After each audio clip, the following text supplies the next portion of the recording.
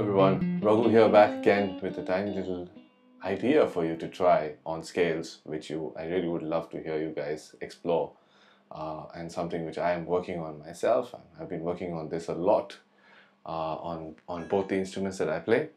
Uh, so without much, without much ado, let me get into it. So the easiest way to tell you about this is I want to call these as cascading triads and cascading seventh chords. And the, for me, the idea is I really want to get down the neck like that, right? Uh, but I also don't want to play. I'm in the key of G, okay? Right, so uh, so I don't want to like go up and down the neck.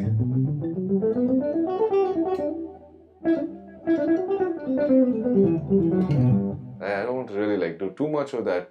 Suppose I'm in a situation where I want to play lesser notes, I want to make more impact, right? I could do this. Right? So it's a G major triad, F sharp major, F sharp diminished triad, sorry, and the D major triad.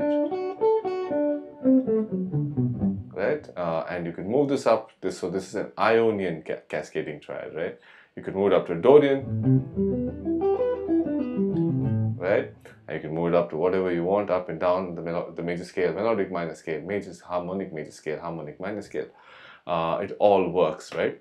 So, which is the first two ideas. The second idea I really want to share with you, or rather more like the third one here, uh, is this idea of playing seventh chords with the same ideology of going down that way, but trying to include more notes, but to get the arpeggio down too. So.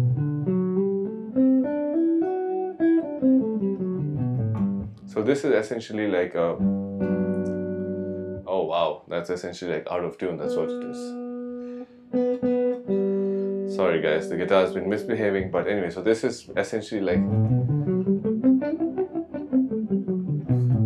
right? It's like it's like a G major seventh. Right? And an A minor seventh. It works over. So this is something you could do over all chords here right? Or you could go up here and play. Ah.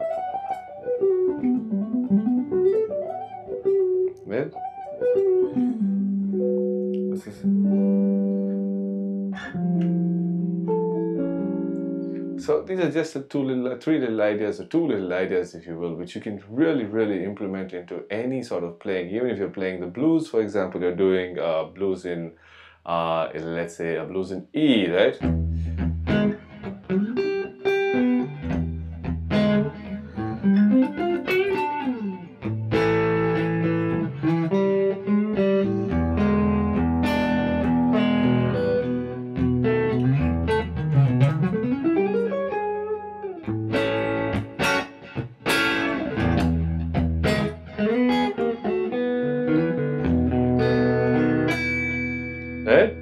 So these are just again like i said these are just ideas for you to try over you can play over or you can come over uh, and uh, really really really like you know accentuate the changes without moving too much uh, and your own creativity is the limit here guys so till then keep practicing. I shall be back with a more complex version of the same exercise very soon